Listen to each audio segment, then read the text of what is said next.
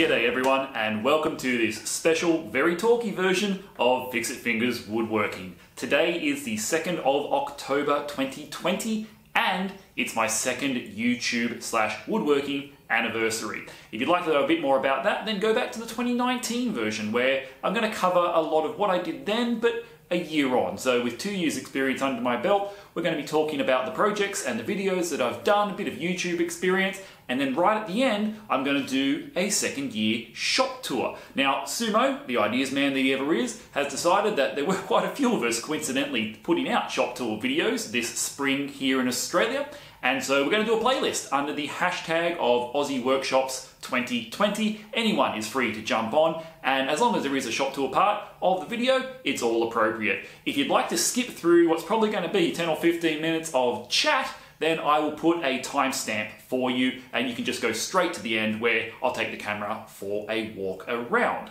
But for the moment, this bit is really for the people who are interested in hearing my story and following along with what has been going on the past 12 months, and then a little bit of my plans for the future. It is going to be a bit chatty as I'm warned. I've got a whole page of notes, which I'm going to constantly refer to. I apologise, but there was too much information to store in the old noggin. Alrighty, right in front of me is my brand new camera, my Lumix FZ300, I believe it is, which I actually purchased back in March, gave one trial, and then put back in its box because, quite frankly, my workshop was far too dark in order to get a high quality picture with it. The phone did a better job. So I have been, until today, filming on the phone. But luckily, my last project, which I just finished, the workshop lighting, hallelujah, let there be light, has allowed me to pull out the camera. That is a huge change for now, which hopefully in the next year, the quality of my videos, or at least the visual quality, will go up substantially. So very, very happy with that. All right, let's start with the video aspect. We did a total of 45 videos, which I believe is actually three fewer than I did the previous year. But as I promised at the end of my last video, I've cut out the multi-parters, whereas before I'd do one project, chop it into three 20-minute edits, uh, and release one of those for three weeks. Now I've gotten much better at my editing, hopefully, and I've generally, except I think for the miter station, managed to get things out in a single 15-ish minute video. That was one of my goals, and I'm really happy that I've been able to do that. Now, the breakup of the videos saw the introduction of, well, three, but only two permanent new segments to the channel. The first were the Fixit Fingers quick fixes, and we'll run through those, shall we? Because they are quite quick. I repaired a frame of a picture, you might call it a picture frame, with my Kreg Jig. That was the thing that kicked off. It wasn't obviously going to be a long video, but I thought it was a neat tip, and so Fixit Fingers quick fixes was born. These do tend to be more of the handyman type stuff, and since well, my company started as a handyman business, I thought it was appropriate to chuck them in on the channel too. Then we had a review of the Cabot's deck clean. You were trying to clean the deck. It was quite a informative little product. Uh, then we did the clothesline for the wifey upstairs in the second bedroom. That has still worked really well to this day. It hasn't fallen down yet, and we use it all the time. And yes, as predicted, I do have to be the one to reach up and hang the clothes on. Uh, my masonry nails review, that was using masonry nails in my lovely brick garage when I don't need to support a lot of weight. Then I did a sealing with resin, and this is something that I'm really happy with because it's not something I found a lot of info online about, and it's why I did the test using the Feast Watson sanding sealer to put in your inlays really of resin. So you don't need to do it whenever you're using resin, just for when you're doing that detail work and you don't want bleed along the lines there. It worked really, really well for that. Uh, and then lastly, my sliding window repair. This is something that I've done half a dozen or more times here in the building, being the handyman for my little strata block. And we've got 50 year old sliding aluminium windows. So that video is actually doing quite well and I'm very uh, pleased with that too. So they were the quick fixes.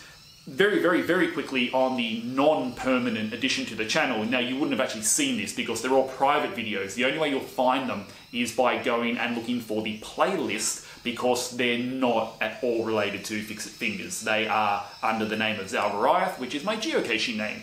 So I still do get out geocaching from time to time, and by far my biggest geocaching project for the past 12 months was a series of eight videos related to an adventure lab. Now, this won't make sense to most of the people watching this channel, but if you are into geocaching, uh, then I have got an adventure lab started at the Sydney Opera House, which does a tour of history and sightseeing around the city, and I'm really proud of the series. And so if you want to go and find those, then go to the channel and look in the playlist. I can pop a bar up here somewhere, which will point to it. The second permanent introduction to the channel were the Fixit Fingers Fivers. Yes, I really do love my alliteration.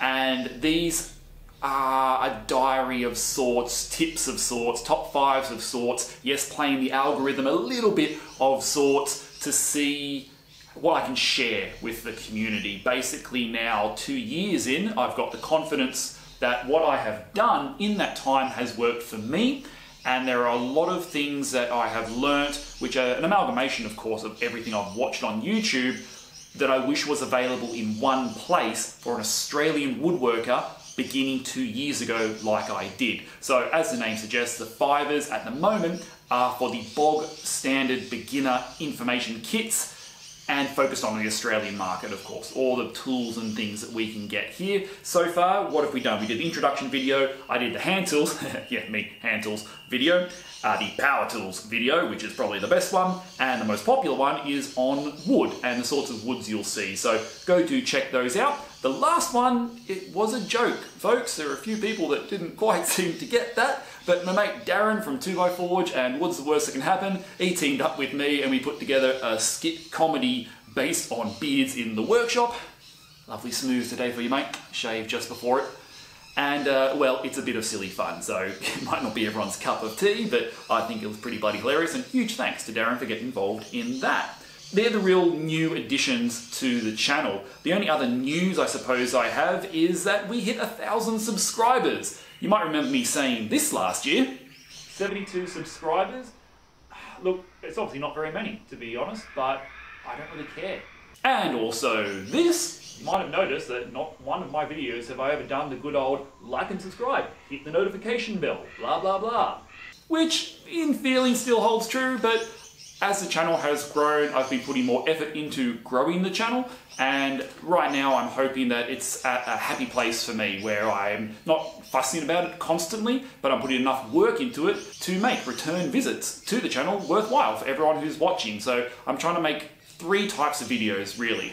Videos for myself, which are the sort of long talky ones, like this one, which were reminiscent of how I started out. Videos for my subscribers, which are the woodworky ones, the real down to earth sort of backyard crappy builds that I know are not going to be watched by thousands and thousands of people online, but they're the kind of content that I want to watch and this kind of projects that I want to make, and hopefully my sort of core viewership are going to enjoy. And then you'll spot them quite easily are the videos I make for YouTube. They are the algorithm favoring videos. They're going to be things like tool reviews and comparisons, those sorts of videos which are probably not going to be terribly interesting to my regular core subscribers because they've seen a thousand tool reviews before, but they do particularly well on the wider YouTube. And that's important for me now because I'm getting paid.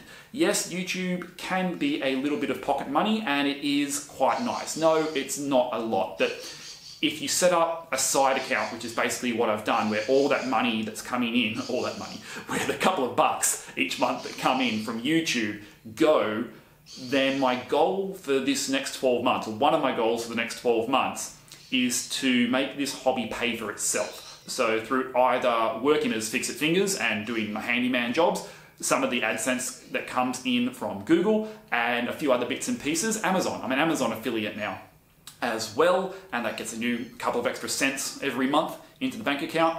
Basically, any money that's generated through this social media and through my handyman business, I want to put into the business so that my hobby, what I spend my time doing, doesn't cost me anything. And that would be great if at the end of the year the books balance. That may mean being slightly careful with what I spend. Uh, for instance, I could have really, really done with a rotary hammer drill the other week, and I chose not to because I don't need that tool specifically, although it would have been useful. I borrowed one instead. So that's a bit of a goal of, of what I'm at to. Um, in terms of the Amazon links, I'm sure you've heard it all before. Basically, all of my videos now where I've got the tools and things going. There are links below, and if I think the tool is decent, then I will list it. And to be completely honest, they're going to be mostly for Americans, I'm afraid, because Australian Amazon is kind of crappy. Uh, American Amazon, you can get all the Kreg gear, get all the Makita gear. There's heaps of good stuff, and it's at a good, if not better, price than retail. And if you purchase through one of those links, I get again a small percentage. I think it's two or three percent of the sale without costing you any more, and that money goes towards supporting the channel too. So I have changed focus as we've grown and got along. And in terms of that, where are we now? We're at about 1,600 subscribers. Uh, so that is just amazing. And my sort of average video view, I suppose, is about 300-ish, thereabouts, when the video gets released. And to think that there are 300 people who regularly want to come back and listen to the sound of my voice and see what I've been building each week is very humbling. And I do really thank the people who uh, do that you guys don't have to worry about the ads or any of the links or any of that sort of stuff because honestly 99% of that is generated through the videos that i make for the youtube algorithm. So my Kreg review videos and my tip videos and those sorts of things which get a lot more viewership. Speaking of that what have been my best videos of the year? Well the bloody Wagoner video continues to reign supreme uh, over the past 12 months, and overall, it is still my best performing and least favourite video that I have on YouTube. It's clocking up to 72,000 views, and that's just absolutely insane. Um, second to that is my K4 versus K5 Kreg video. I really want to thank Carbatec actually, who have shared the McCrap out of that video three times now, I think. And every time they do, it gives it a really good boost. And I do like that video. I was really lucky to win the K5 and being able to compare the two was great. Um, my wardrobe video, which is, thanks wifey, doing very well. It's my best project video to date, believe it or not. So where I've actually built something, those wardrobe doors, that's going gangbusters, about 20 something thousand views. Same with the dog gate that I built for my brother. So there you go, help people out, build them stuff, goes well. And the third best video is my rip cut video, one of my very first videos as well. As we said, Kreg reviews do good. So a few other little bits and pieces of things have happened this 12 months. We had Sumo's Scrapwood Projects 2020, which was by far the most fun thing, woodworking-wise, that I got involved with this year. Uh, tie that in with my 1,000 subscriber giveaway, which Thaney actually ended up winning the Square Cut for with his hilarious entry, but the number, the quality, and the good times community that was done through that hashtag was just amazing. And that's why we got the Aussie Workshop 2020 hashtag going along. We're going to try and do a similar, if slightly more chilled out kind of thing. Instructables is another platform that I jumped on this year thanks to my mate the Grant Alexander. I've only done the one and it went quite well. I really enjoyed the process, but for me at least, it's quite a time consuming thing to undertake and you've got to have the right project and the right competition to enter to really get my motivation to do it. So I'm hoping to get a few more Instructables out this year because I think they are worthwhile and they're great for promoting your video and also for giving people a closer look. You spend more time with the audience and showing it step by step. One of the other exciting things I got up to this year was visiting a few other makers. I went and saw Kilby from Run the Grain, who's got a new podcast out, The Daily Placebo, focused on mental health and a few other topics as well. Uh, he's most on Instagram more so than on YouTube, but go and check him out. That was great fun seeing his old workshop. He's moved now. I saw Vic from Down Under Woodworks, and that was just awesome. Getting to see a place that you've spent so much time viewing and you think it's like a set. It's no different from anyone else's workshop. I mean, it's a bit nicer than mine, but being there and getting to chat to him, and he is exactly how you think he is. He's so down to earth and so relaxed and chilled. Lovely, lovely fella. I actually gave him my old K4 when I got the K5 to replace it, so I will see what he can do with that. And I got to see the chopper. Oh, it's awesome. And he's currently living inside his house. Not sure how his wife feels about that, but hey, I think it looks cool there. And the last one Dave Stanton invited me onto his live show, and I went up to talk about dust masks because I know a little bit about them.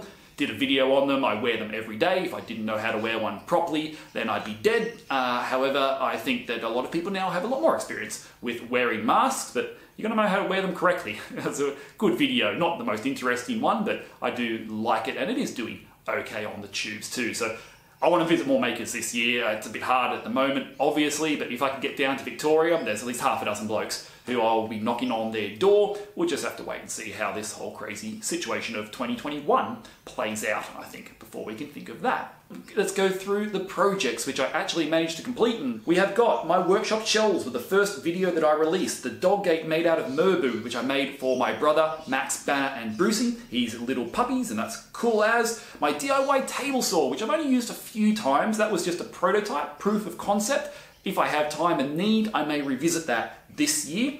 Uh, my timber racks up on the shelf over there are not falling down and they've got a crap load of wood on them, so they were fantastic, being a bit overcomplicated as usual. The vac car, um, not bad, this little Sherwood uh, Cyclone, I may do a review on that. It's, it's not super, super fantastic in terms of recollection, but it does okay, and it was very, very cheap, so you can't really fault it for that. The clamp rack up here, stolen from Steve Ramsey's woodworking course, the weekend workshop, which I've actually mm, about three or four projects into. I've paid up and signed up to that. I'm really enjoying it, and as it fits into my plan for the workshop, I'm going to keep building a few more of those too. Gumfire. Oh, ah, I should have brought it in because believe it or not, I've got it back. I won't go into the story here. Anyone who followed the social media about Gumfire saw what absolute joy and then disaster and then rejoy it was. And now I've got to find a home for it, basically. We'll see what happens with that. Uh, my wedding logo, which was a complete disaster for my poor friend who commissioned me to do the work, and I managed to royally stuff it up. Still looked okay in the end, I hope, but not what she wanted. But oh well, big learning experience, that project. The wardrobe doors, which I mentioned, are doing really, really well as a video and also haven't fallen down, haven't scratched. They still operate very smoothly and nicely. We've had no accidents with them. Wifey is happy, and happy wifey, happy lifey. The fit out of the miter station and the hectic half lap miter station frame, which again, overcomplicated just for the sheer funsies of it. That was a fun project. Frustrating, very long, but very fun project, and we'll take a closer look during the shop tour of that. Wifey's Weed Wagon from Sumo Scrapwood Challenge 2020. That was literally built in an afternoon. Absolutely hilariously good fun and a bit of clickbaity action on there too. It's upstairs now for the guinea pig, although most of the weed has sadly died. Now we'll have to plant some more. Got some parsley seeds. The coat rack slash wireless charger. Probably my most proud project this year because I don't actually do a lot of what you call normal woodworking. Like nearly everything here is for the shop or a bit of carpentry sort of base. So actually having something designed, built and executed and installed at home, it's the first permanent fixture that I've been allowed to make for the house and now there's a much longer list of things that are going to follow on from that. So very proud of that project and basically it showing how my skills have advanced as a woodworker over the past 12 months, I think is summarized nicely in that build. And then the very last thing was the Hallelujah, Let There Be Light. And if this video is anything to go by, I'm hoping that's going to be just, well, something you'll never notice again, but I'm going to notice every time I walk into the shop. I think that is it. There were a bunch of other videos too, which involved reviews and talking and all that sort of stuff. The AccuCut, my Christmas video, um, a few revisits where I chopped and re-edited a couple of my old, very long videos into shorter videos. And quite frankly, I can't believe, looking at this piece of paper, how much I got through this year. In fact, this video here is probably blowing out to nearly half a bloody hour. So there's no time for any Q&A a la Dana Design and Vic, but we might do that in the future at some stage if there is interest. So I'll just share one little piece of trivia which has been staring you in the face. Once upon a time, when I was young and fit, I was a first grade New South Wales AFL boundary umpire, and I did get to run on the SCG. Fun fact! Alright guys, let's get into the shop tour, but thank you for hanging around for this little chatty bit and review, and most importantly, thank you for supporting my channel over the past two years. Some of you have been here for that long, or if this is your first visit to Fixit Fingers, then why not like and subscribe? just kidding. If this is your first video, you never would have got through this far.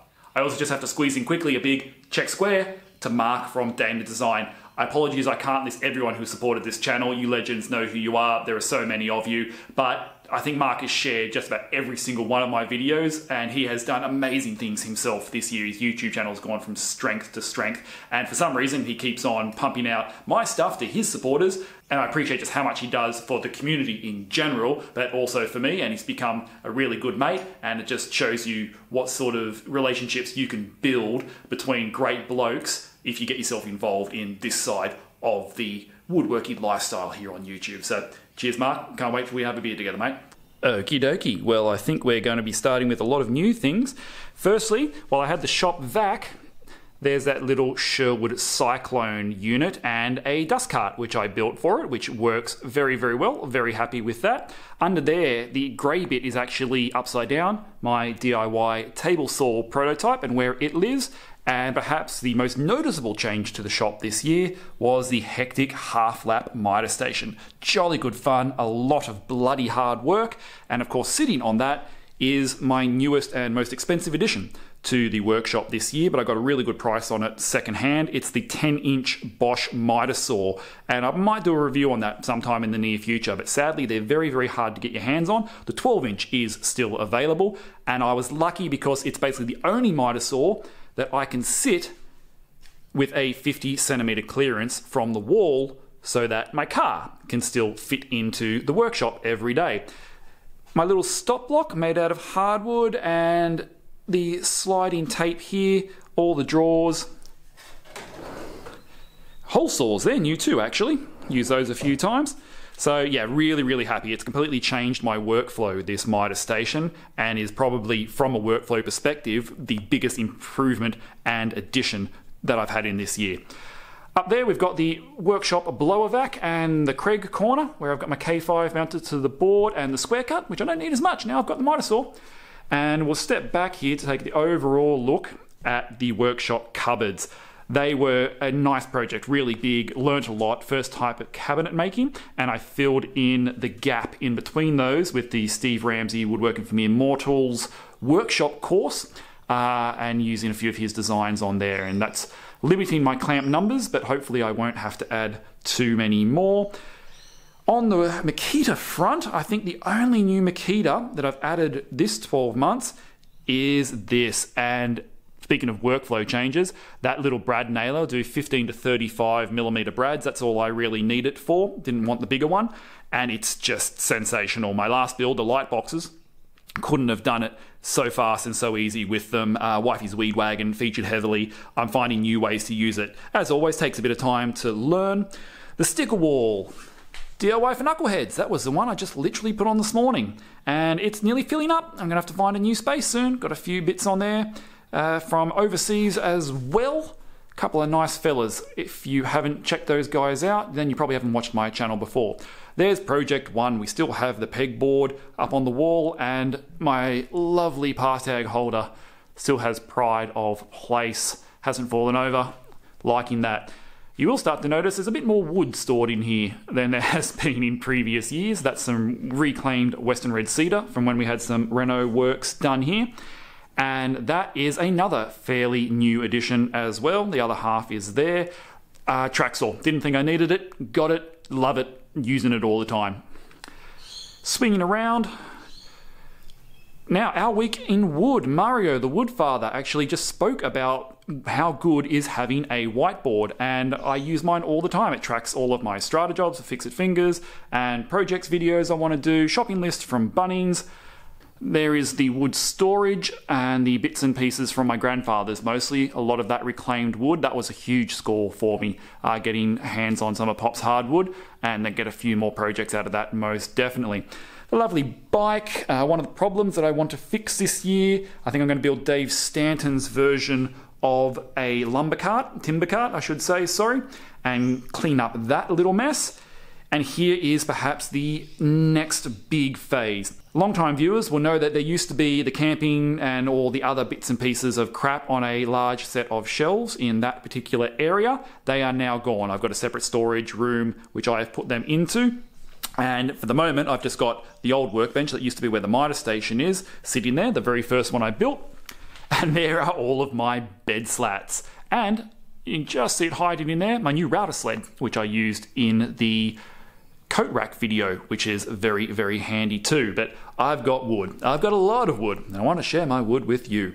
Uh, practice that line too much and an old Dawn Vice. I didn't actually end up doing the gardening job which I was commissioned uh, for, or was quoting on, I should say, but they let me keep that. It doesn't work, it needs restoring, and in here, uh, that's a sore elbow waiting to happen. That is all of my sandpaper for my next video. I'm, I'm reviewing 120 grit sandpapers. The old tripod and the new tripod. The rip cut, which still gets a lot of use. Pokemon cans, because I'm a massive nerd. Bundy cans, because I'm a massive bogan. And my slightly crazy garage door, which I managed to repaint the other day when doing the light boxes which I could not be happier with. They are sensational. You might have also noticed, see, proof I'm not filming on my phone. I've got uh, one, two, three, four new PowerPoints going in as well. So that's going to help me get a bit more organized in here too. And when the workbench goes in there, I'll have some options for hard power. So there you have it guys, probably my longest video of the year to be completely honest, and I do thank you one more time for hanging around and supporting Fix Fingers Woodworking. I have so much fun in my shop here and I can't wait to get cracking on another year's worth of projects. Don't forget to check out the other makers who are going to contribute to this hashtag, Aussie Workshops 2020, and you'll be able to see a whole bunch of different small and not so small spaces and what people can do with them. Thanks again to Sumo for organising that one. If you do ever have any questions, then by all means ask. I'm a pretty open guy, and of course I do sticker swaps too, so hit me up for one of those. Even if you don't have your own, I'll send one out to you. That's no problems at all. Can find me on Instagram and Facebook in between videos. And last final shout out is for our Aussie Makers group, the one that Rhino, Ben, and Ashley and I started. Uh, must be what a year and a half ago, a bit more now. We've just hit 3,300 members, and it's still a really great community of Australian makers sharing ideas. I put some of my stuff up there, but I don't have to these days because there are posts every day. Do go check out the Aussie Makers group on Facebook. All the links of everything I've chatted about today are going to be in the descriptions below. And if you haven't seen much of my stuff, then I do invite you to go and look at last year's video to see how far I've come. And if you really want to scare yourself, check out some of the early stuff. Blah, blah, blah, blah. There was a lot of that. I leave them up there so that every year I can go back and just see how far I've come. I started this channel as literally a video diary, chatting to myself more than anybody else, and while now I'm more conscious of my audience and I do sort of try to make my videos more enjoyable for other people to watch, at the end of the day, why I do Fixit Fingers Woodworking is so that I can see how I've progressed in a new skill from basically day zero, hopefully, to points of improvement and milestones in my woodworking and in my craft of making stuff that gives me joy and gives other people joy too. That's what I'm all about here. And if other people can learn something, then by all means, that's a great thing as well. But it's not the goal of this channel. I better shut up. This is pushing a half hour video today. Thank you everyone once again. I look forward to the next 12 months and what it's going to bring, and I'll see you around the traps.